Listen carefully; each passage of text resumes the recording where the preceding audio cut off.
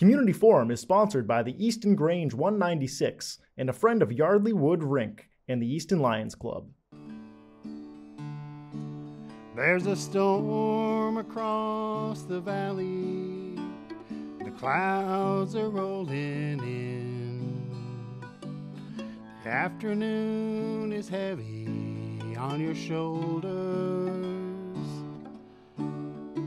There's a truck out on four lane, a mile or more away. The whining of his wheels just makes it colder. Good morning and welcome to Community Forum. Today is March 26th, 2024. I'm Priscilla Almquist Olsen, your host, and today I am interviewing Jamie Stebbins, who is a member of your select board here in Easton. And Jamie is running for reelection, uh, and this is the third in the series of informing you uh, of who are the candidates for select board uh, in Easton. So welcome, Jamie. Thank you, Priscilla. Thanks for having me again. Too. Yeah. Oh, it's, it's great. Yeah. And uh, so tell me, why did you decide to uh, run for reelection? So we we had some success, and I know three years ago when I sat here and talked with you, the learning curve being uh, what it was, I was a bit, uh, you know, in, intimidated by what we had in front of us, and uh, we we've learned a lot, and we've had some real success with both the municipal building project that uh, we're actively uh, in the midst of. Um, we've seen a number of other projects um, that people before me set the you know trajectory. I talk about standing on the shoulders of giants, and it's it's really true. Uh, coming in, I've had the fortune, the good fortune of uh, having so many people before me set the table and put us in a position where we are finishing project after project right now, which you and I will talk a bit about. Um, and so I'm really looking forward to seeing a lot of that through. Some uh, the municipal building project being one, uh, which will be completed uh, in 2027. Yes, and that was a big undertaking, wasn't it? Yes, yes. It's it's a big undertaking because you know we talked about it for a long time. We it goes back to Dora Whittier uh, days when we came. You know, we had uh, an audit done on the buildings and found that programmatically we were never going to meet our needs in the buildings that were built. You know, 1950s and earlier, um, in a town that was a fraction of the size it is today. So we were. Mm you know, the town of less than 10,000 when a lot of these buildings were built. Today we're pushing 26,000. And we're at the precipice now of having buildings that will meet our needs for the next 50 years. Yes, I know. And the um, I was around when the town was 6,000 people.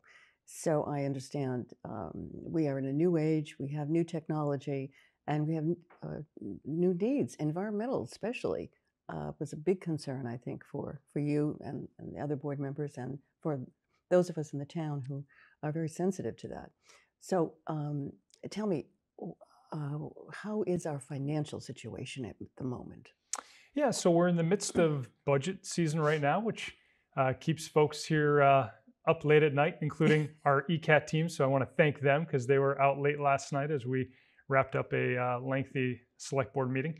And we'll have a number uh, more of those before we get to town meeting in May. So we're we're actively mm-hmm. working on um, balancing the budget, and every year, if if everyone we kind of go back and do a little history lesson, the last uh, override we did was uh, you know operational override was in 2007. So it's been a long time, um, and you know soon after that override, you had the financial crisis of 2008 2009 and so that really ate up a lot of, uh, I think, what we had worked and, and created. So uh, now we continue to find ourselves in a structural deficit, which means that it takes a lot of work mm. by department heads, by the town administrator, by the assistant town administrator, and the select board to find ways to get creative um, to make sure we balance that budget, which we by law have to do.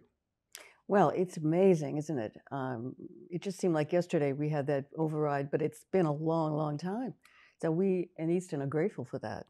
I'm sure. Um, I, I, know I am. Uh, now, Senator Timilty had a bill as I understand it, to help seniors. Uh, and do you have any idea what the status of that is? Yeah, so I know we talked not too long ago, and it does continue in the current House legislative um, session. So we're hopeful that by August we'll have some information on that. Yeah, I know it takes a long time. I interviewed Carol Doherty, uh, one of Easton's rep- representatives in the House um, last week, and uh, she she reminded us about the length of time it can take to get a bill through, uh, and it was very informative for the viewers and for me. Uh, the steps that one has to take in order to um, move a bill forward, and that movement can be very slow. And sometimes it can take years, even five years. And she said, in some cases, 10 years. So there has to be a lot of pressure put on uh, uh, the, the, representatives and, uh, and, and other ones, those who aren't your reps, you, you know, uh, to get the word to them that this is a, a crisis for seniors with the additional tax burden. So my understanding is that they will uh, seniors will benefit by not having to pay the increase that the new building uh, buildings will incur to uh, the ordinary taxpayer. Yeah, so the, it's the home rule petition for senior property tax exemption program. Um, and it will it, today the way we're working it through the legislature mm. is much like the circuit breaker tax where it's a means based um, application and if uh, seniors meet that, and, and, the nice thing is it's 80% of, of AMI, unlike the state means, which is poverty level and below, we look at the average median income in, in the area. So mm. it's not, I think it's, I think AMI actually stands for area. Um, mean, I've got it written down here, but yeah, it's, it's um, area median income. Mm. So that's a big plus because that's very different than what the state means testing is. So that's, if that um, comes to fruition, you're right. The three most expensive years of the project, the first three years that we're fully bonded and online, we would uh, take those applications to hmm. exempt those folks that qualify from the tax years. and I think that was a wonderful uh, thing to do. Uh, and hopefully, we can all encourage Senator Timilty to uh, and Carol Doherty and Mr. Cassidy to push that bill through. Um, and if you know other officials in other districts, uh, get, call them too and just give your uh, opinion on that. It's it's very important because there's we have so many seniors here in Easton, and most of them are on very fixed incomes, some very low incomes, and so this can be disastrous or can be a wonderful benefit. Uh, the sooner it's done, the better it is, and and it, it has to be done because you're you're coordinating this with um, next year's taxes. I mean, that's going to be the most expensive year, isn't it? No, actually, that's the one benefit we do have right now, Priscilla, is that uh, the project will go out for bid, and that's a good uh, good timing to oh, give you an oh, update too. Since we last right. met, I've got a few updates on where we stand mm-hmm. with the um, timeline of the project. And good news is everything continues to be on time. Not a surprise for me, and and really for the community because we're working with PMA, because we're working with Kaestle mm-hmm. Boos, and these are folks that we've had these relationships with, and they have proven time and again uh, to keep us not only on time but below budget. Below budget. and, and right now, I'll also give you that update is that we are just about complete with the design uh, documentation uh, period right now. It'll be going to uh, estimators very soon. Uh, that's slated for late, late April uh, before we then move on in May and June to the permitting process where you go through planning, zoning, um, and then we'll get into the construction document phase. So everything moves along. There's been a couple of changes that have been made. One of them was the community room and the um, headquarters building for the combined police and, and fire uh, was slightly moved. A few changes were made. It's reducing costs because of the amount of walkway when they started to look at uh, where we were going to have the entrance versus where the public parking would be.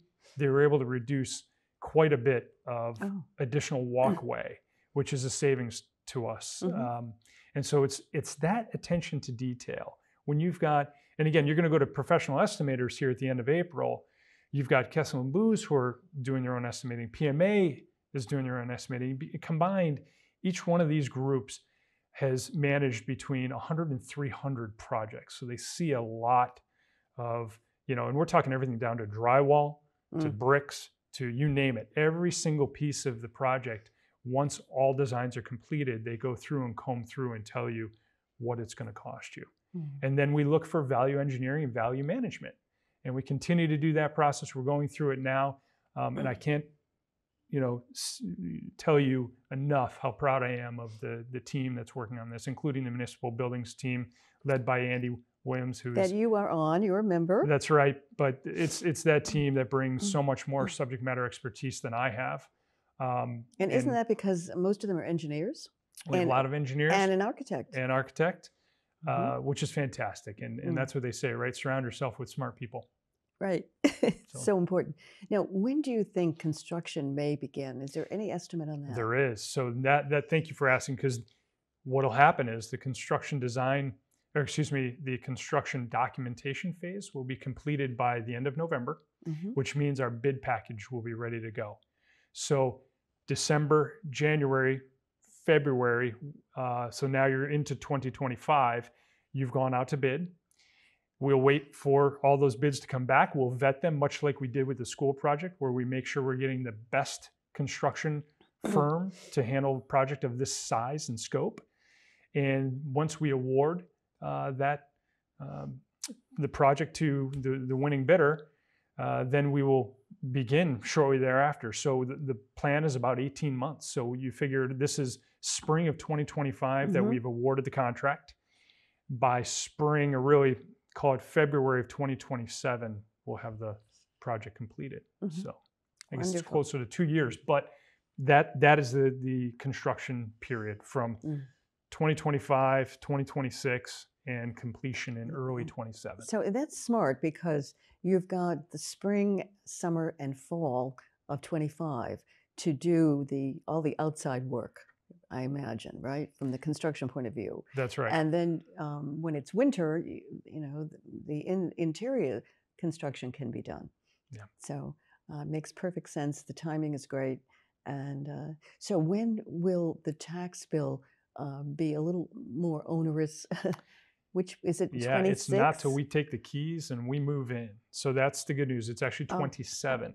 Okay. That's when you would be because you have a ban. You wouldn't actually go to full bond until uh, the completion of the project, right? So, So, you're looking at mm, 27 before we get into our most costly years, which would then be call it uh, 27, 28, 29, Mhm. and those are the years that we're seeking uh, the circuit breaker for for seniors. Yeah. Seniors, yeah. Uh, so we, uh, hopefully, uh, it won't be. Uh, uh, it, it'll happen before that year.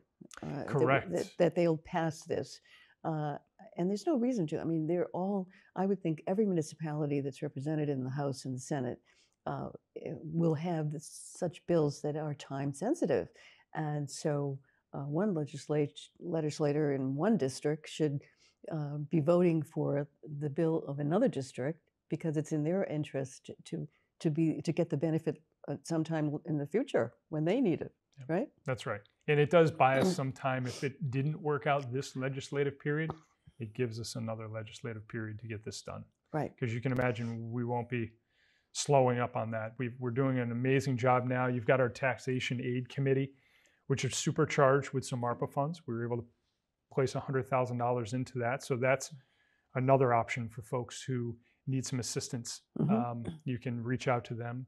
And that Uh, has, that's not age related, is it? No, that's that's for veterans. It's Mhm. for you're right. Anyone that meets the you know again means testing Right. uh, and application process. Um, and there's also you know there's today uh, some work. Uh, you know you can work based uh, tax relief programs. Mhm. Um, so there's a number of number of things that that group is looking at and. Um, it- Now the the work based one is uh, where uh, I think it's at the whatever the the state minimum wage is, and that can in Massachusetts, as we know, that continues to increase. Mhm. So those people are getting the benefit of that. Uh, it's not the federal, which is seven fifty an hour, I believe. Still, no, it's more like sixteen, I think, here in Massachusetts. Hmm. And um, so, but um, there are a lot of positions available in all the different departments, whether it's DPW or the police, the library, or the town offices themselves, uh, where seniors can apply to work. Uh, and for each hour, they get sixteen dollars but that uh, and, and the cumulative amount after one year uh, is reduced reduces their tax bill. So you don't get the cash, but in sense, but you get the reduced tax bill. That's right. And I think uh, so. You have 25, I think 25 places for seniors, and then another is it 10 or 25 for veterans. So any veteran of any age can apply. Uh, and the town, so the select board made those slots available a few years back to accommodate veterans. Yeah, it's it's fantastic. And while we're talking about the Department of Health and Community Services, we should talk a little bit about Kristen Kennedy. She's the director, and then uh, two folks, new two a new deputy director. Mhm. Um, and I'm not going to mess up Tracy Levine's uh, title, so I'm actually going to read it. But she is now the deputy director of Health and Community Services, Financial and Veteran Services, right. and she had worked um, for quite some time as the benefits and grants navigator. So we're very excited to have these professionals. And you've got Joe Pitty, who's also another deputy director working for Kristen Kennedy, and he's on the Mhm. recreational and And you know, they're, um, they're, they have very impressive credentials too. For example, Joe Pitty is getting his doctorate. Uh, you know, so so the quality of, of, of personnel is, is is amazing, and uh, uh, we, you're, we- you're absolutely right. I'm Yeah. glad you hit hit that point that he's working, he's completing a PhD. right. Uh, and you've got uh, Tracy, who has a master's, and hers is in science and human service management. Yeah, and you know, um, uh, Tracy uh, has provided a lot of, of people who have come to me, and I've referred them to her uh, with all kinds of resources. So, especially seniors. So, if you need to know about um, uh, oh, having a senior moment, um, you know, if you need to have insulation in your house, you need to have weatherization, or you need to have uh, assistance with fuel uh, or electricity or whatever. She was the go to person who could set you up, help you apply, and, and get the benefits. Who's taking her job? So she's going to wear uh, some additional hats for a little while. Okay, Yep. until you find somebody. That's right. And so that's, but I'll say this too. This came up last night as we're working through the budget. Easton, when you look at per capita, we have the fewest number of employees operationally. So on our opera, on, you know, from the town side of the balance sheet, it- Really? it is per capita. We are the fewest of any community in Massachusetts. Does that mean we're more efficient, or uh, does it mean that people work harder and longer? It means both. It means we are more efficient and that we continue to look for efficiencies, which is how we've been able to stave off another operational override Mm, um, all this time. It just means though we keep going back to the same well too, right? And we and we do want to be careful because we do is we've just highlighted two uh, or three, if you include Kristen, employees that are fantastic uh, assets to this community, and we do not want to lose those folks, which means we don't want to keep the pressure up where they're working uh, the number of hours that we're asking them to work, and um, so there's there, there that's the give and take here. We need to, you know, do a good job of, um, you know, being stewards of, of those folks. Um, there's there's going to be more conversation about this. Yeah, and let's not forget Kristen, uh, uh, Kristen Kennedy because she has uh, done a magnificent job, uh, lots of responsibility, and it's her management and uh, that's created this great team. hmm Yeah. Yeah. So yeah, there's there's there's some gaps, but we fill those gaps, and then Mm. that's where these folks step up and and uh, do a fantastic. The other thing I wanted to mention about Kristen is she is so open to suggestions. So, viewers, if you have an idea uh, that the um, commu- community health department can uh, uh, can envision as as a benefit to uh, not just seniors but to all people in in Easton, uh, children, because the recreation, uh, which Joe Pitty oversees, uh, is you know also uh, involves young young children um, all the way to seniors. Uh, so if you have an idea for a program or for a need, a benefit that's that's do, sorely needed, give Kristen a call and um, just go on the website, the East Town of Easton website, and find her phone number. So uh, she's very open to that, and she also creates programs. She she sees a need, somebody talks about a need, and she says, "Well, let's do this." That's right. Um, So finds a way to that- partner with. Right. So she's very proactive uh, she doesn't just sit back and uh, and sit on her laurels as to the different programs and sort of manage them. No, no, no. She's out there uh, creating new ones uh, with the same personnel. So, Mhm. So okay. So what else do you have to tell us about? I'm just going to, before I jump off of that department, because there are so many great things, but Kristen, again, and that team has partnered now with William James College. So for folks looking for Oh. any mental health, and this is completely, um, you know, private, but there's a way now to reach out and speak with someone, and it's free of charge. So that's something that this team will also direct you to uh, the partnership they have with them, but our community health and paramedicine. Yeah. Let's go back to that mental health one, though. Yeah, Uh, it's called the doesn't, the police Referral Service. yeah doesn't the police also refer uh, people to uh, to get help in that regard? And that is another beauty of our community. And we see it every night that the select board meets and we have our department heads there is look at the teamwork between the fire, the police, and DPW. This is just so rarely found in communities where you have department heads that not only get along, but are actually there to improve each other's job performance Mm. and improve the product that they deliver to our Mm. you know community. Mm. So it's fantastic, and we've seen a number of uh, incidents this just in the last couple of weeks that uh, police and fire have responded to, and um, the way they they work together and back each other up. And you know we had a missing person the other Yeah. night who was Mm. uh, found fortunately before uh, you know midnight, and uh, there's just a number of things. So Priscilla, you hit it. It's all these departments. It's Kristen working with them. It's Dave Mm. Field. It's you Mhm. know it's um, Justin Alexander. Justin Alexander. It's Keith Boone. Keith It's Boone. it's all of them, and, and obviously Connor. And now we've got Sean Dugan, uh, who's our assistant Mm-hmm. town administrator. But all these folks working together, and it makes it seem seamless Mm. because of how professional they are and good at their jobs. They Mm. are. Mm. So you're right.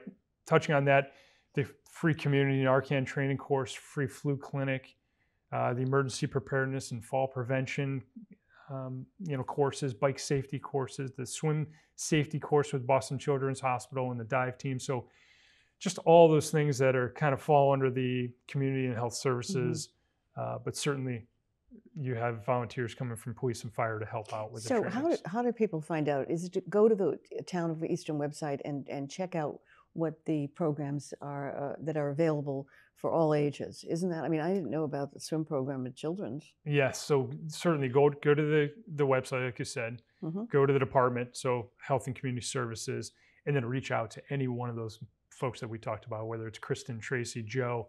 They're happy to put anyone in touch. Yeah, with- and I think Joe has is probably the person to uh, give us most of the information for recreation, for uh, right. programs for youth, and so forth. Uh, so, what have been your biggest challenges, do you think, during the past term? Well, I came through COVID.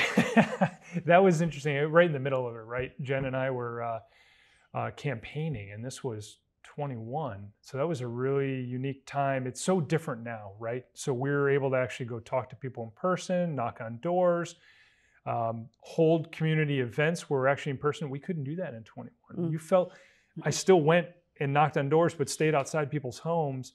Um, but you were very concerned uh, how they would react and didn't Mm. want to make anyone uncomfortable. So this is a completely different environment. Mhm. Uh, happy to say, um, much uh, much more happy environment, and uh, so I think we just learned a tremendous amount. Right, coming through COVID, watching how well all these groups we just talked about, police, fire, DPW, everyone worked to keep not only uh, town employees safe, but our community outreach was Mhm. fantastic, helping people get up to date with COVID shots, not having to travel outside of the community if they weren't able to, or even going to folks. Um, and a big, a lot of credit to um, uh, our paramedicine and you know mental the the it's paramedicine and health uh, community health team. Um, Tim Vamosi was a was a really big part of that. He stepped up, and as he always has uh, in Who this is that? community. Tim Vamosi, he's Captain Timothy Oh. Vamosi with the fire department Mm-hmm.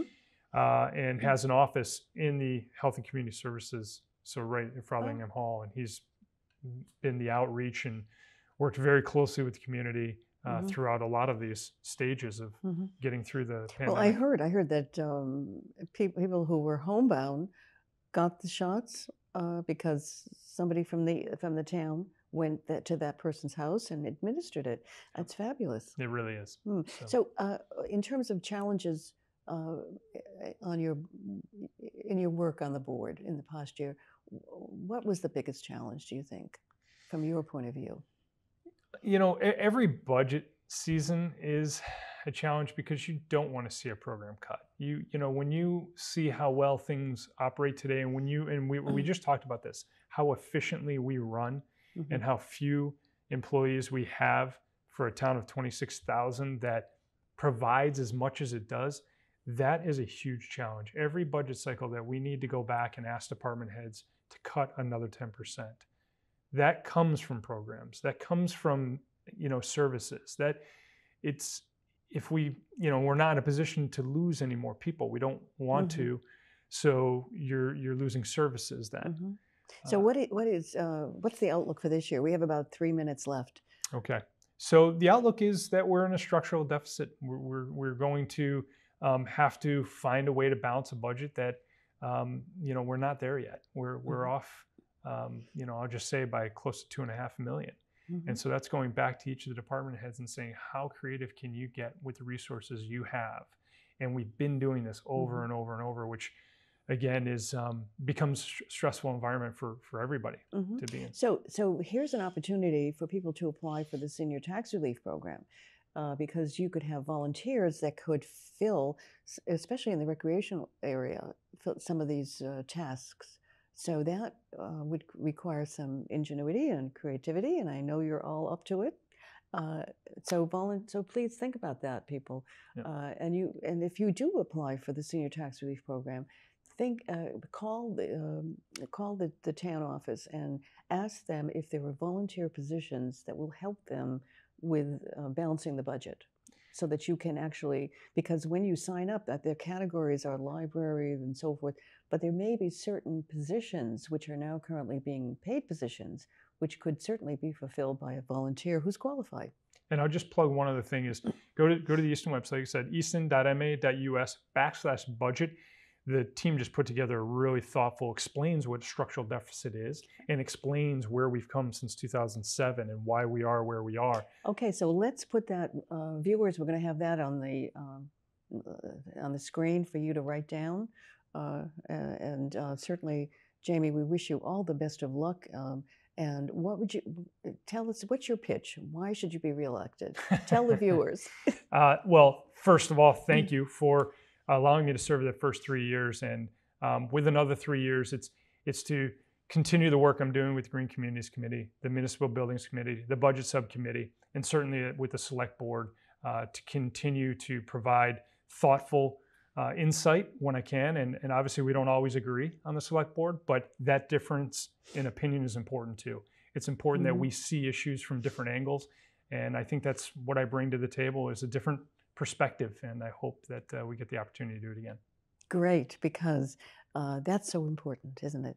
To it's because if everybody agrees, hmm, maybe there's something wrong there, maybe there's something right there, but it's important to see the um, different views and different opinions, uh, and that brings us to compromise, and it brings us to conclusion uh, and and progress. So, thank you, Jamie Stebbins Thank you, Priscilla. for being my guest today. And this is Priscilla Almquist Olsen bidding you farewell. And until next time, be well. There's a storm across the valley. Clouds are rolling in. Community Forum is sponsored by the Easton Grange 196 and a friend of Yardley Wood Rink and the Easton Lions Club.